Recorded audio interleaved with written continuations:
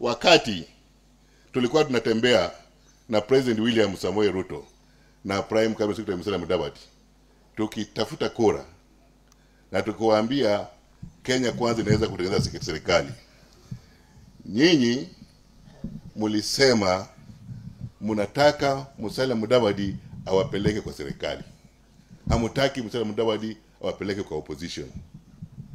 Nilifika wakati propaganda ya kampeni ikakuwa mingi na watu wengi wakaamini serikali itatengenezwa na Azimio. Ndio mkasema kama Musalia Mudavadi amekosea, ameenda upande mwingine, ndio mkapeana kura mia kwa Azimio.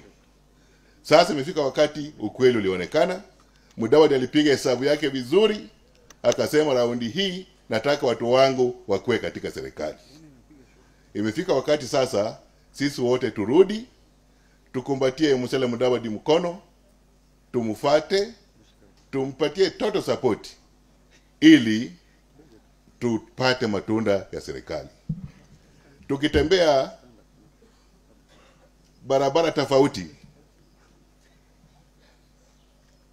president wetu ataona Musalia Mudavadi hana hiyo sapoti, na ikiitisha kitu itangua ugumu yeye kupeana.